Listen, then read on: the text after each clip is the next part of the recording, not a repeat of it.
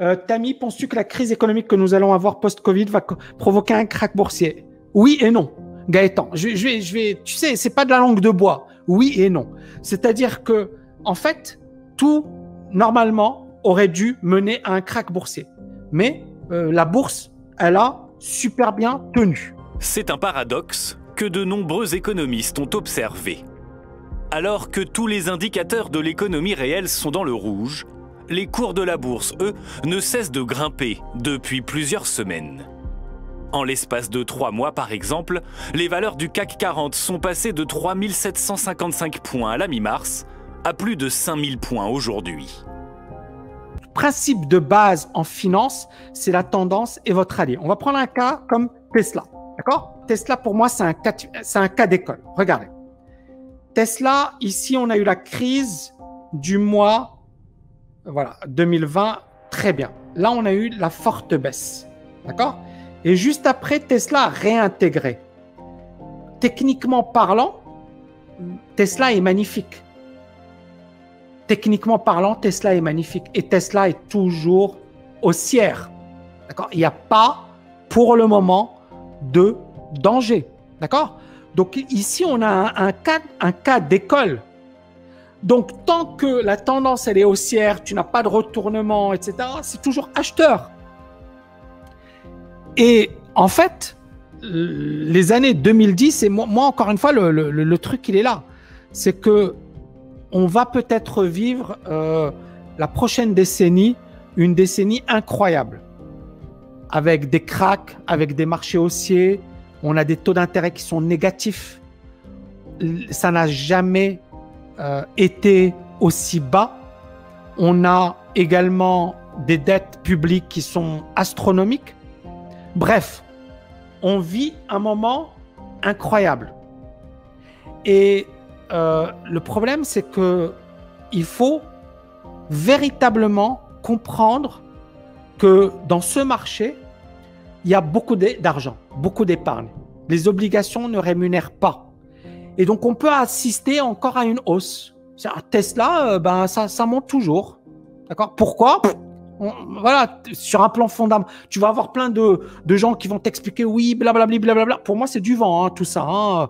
C'est juste, ça monte parce qu'il y a des acheteurs. 208 milliards de dollars. De quoi s'agit-il ce matin? Il s'agit de la valeur boursière la plus importante pour l'automobile dans le monde. Et eh ben c'est plus Toyota, et c'est pas Volkswagen, et c'est pas Ford, non c'est Tesla. Tesla vaut 208 milliards de dollars en bourse, et Toyota derrière vaut 201 milliards. Tesla vaut nettement plus que PSA et Renault réunis, qui arrive à peine à 20 milliards d'euros.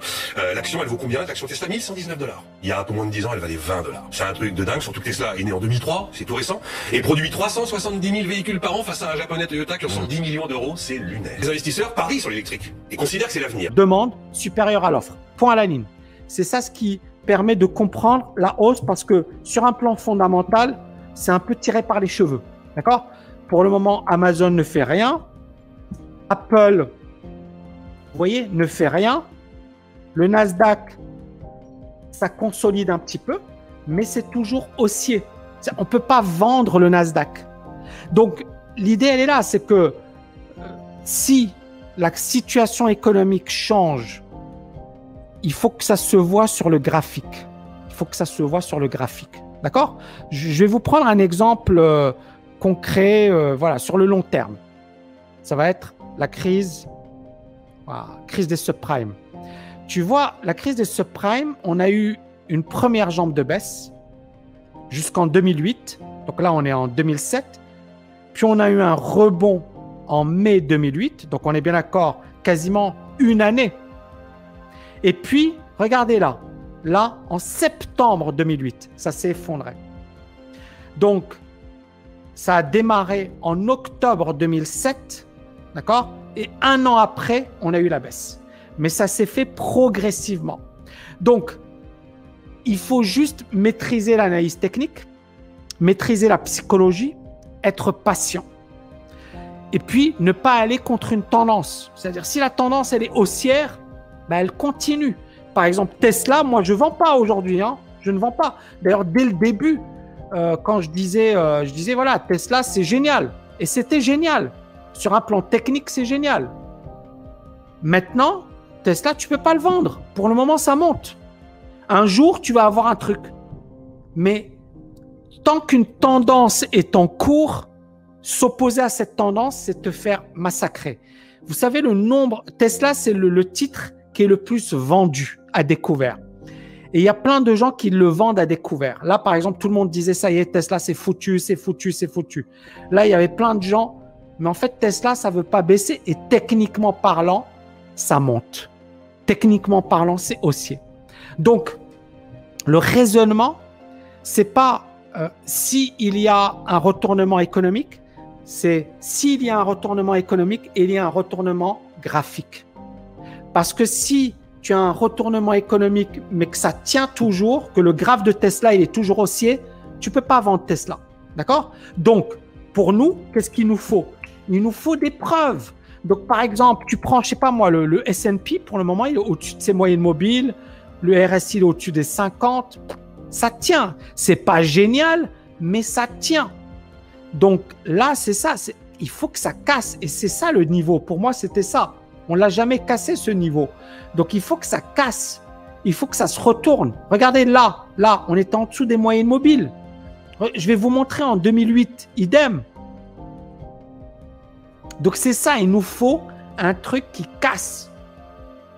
Et là, pour le moment, on est plus, plus là, sur le S&P. D'accord?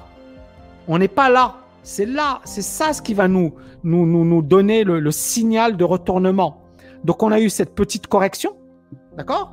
Et puis on a eu effectivement une hausse parce que bon, bah il y a eu l'artillerie lourde, mais pour le moment, euh, tu peux pas, tu peux pas shorter. Et donc il faut juste être patient, tout simplement. Moi, je, pense que la bourse, euh, c'est le meilleur endroit pour prendre l'argent des poches des gens impatients et le mettre dans la poche des gens patients. Et euh, je pense que euh, une fois que vous aurez compris ça, mais ça veut dire quoi? Ça veut dire être patient, ça veut dire attendre. Euh, mon appartement à Dubaï, mon agent immobilier hier, il m'a toujours, il m'a proposé de le de, le vendre. Et il me dit, Tammy, est-ce que tu es toujours chaud pour le vendre? Non, est-ce que tu serais chaud? Parce qu'il m'avait déjà proposé. Et j'ai toujours une super plus-value. Et mais pourquoi Pourquoi j'ai cette plus-value? Potentiel, parce que je ne l'ai pas vendu, je suis toujours très bien, parce que j'ai été patient et parce que j'ai attendu le meilleur moment. Et cette plus-value, ça dépasse les 500 000 euros. Et point à la ligne, c'est-à-dire qu'à un certain moment, tu peux attendre et il y a beaucoup de gens, ils, vont, ils, sont impatients. Ils veulent passer à l'action, ils veulent passer à l'action.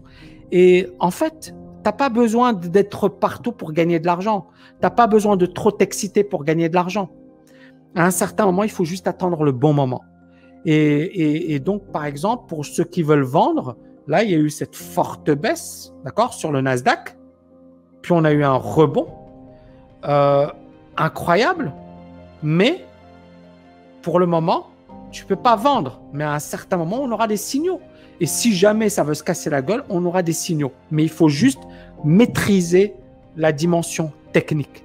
Et il y a beaucoup de gens, ils maîtrisent pas tout ça la psychologie, les, meilleurs, les meilleurs niveaux sur un plan timing et attendre. Et attendre. C'est-à-dire qu'à un certain moment, le marché il va nous offrir les choses sur un plateau. Mais beaucoup de gens euh, voilà, ne voient pas les choses comme ça, ils sont impatients. Et c'est pour ça que ces personnes, finalement, se cassent la figure.